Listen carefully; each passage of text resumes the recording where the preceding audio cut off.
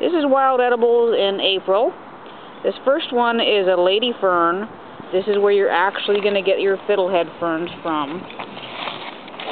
And the lady fern fiddlehead looks like this. And you, of course, can cook that or not.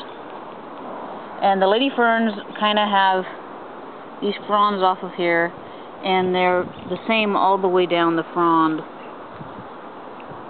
See the same size basically of each other. This is a wood fern. And this looks a little bit like the lady fern.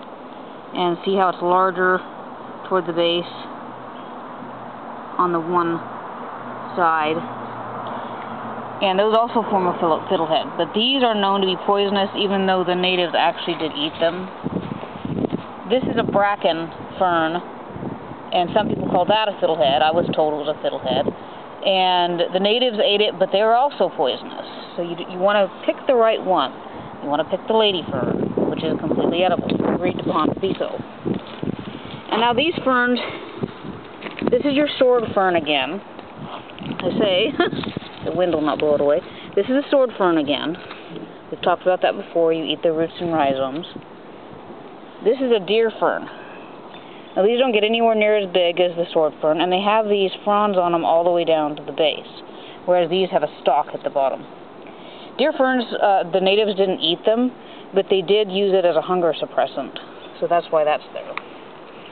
Because right about now, there's some things out, but it's still a pretty lean time.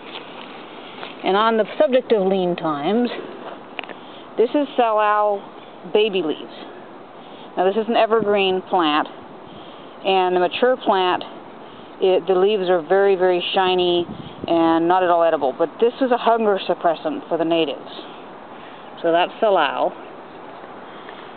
And this is also an, a pretty early plant that comes out. This is a salmonberry. These are the blooms. And the natives uh, would eat the berries when they came out, but they didn't come out, don't come out until May. Um, but they would take these and use that for salad greens.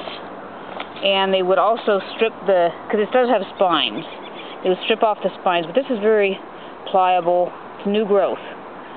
And they would use that uh, to strip off and, and eat that. That's nice and sweet. Same thing, now this is a non-native, this is a Himalayan blackberry. And you can do the same thing with that. This is new growth. So you strip off the outer section of the stem here of this new growth where there's some some spines and you can eat the center.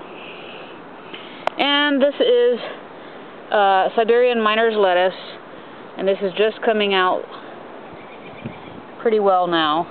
It's got a little striped purple flower and it's kind of a succulent. And the natives didn't eat that, but it is edible. And last of all, this is silverweed. This has a single yellow flower.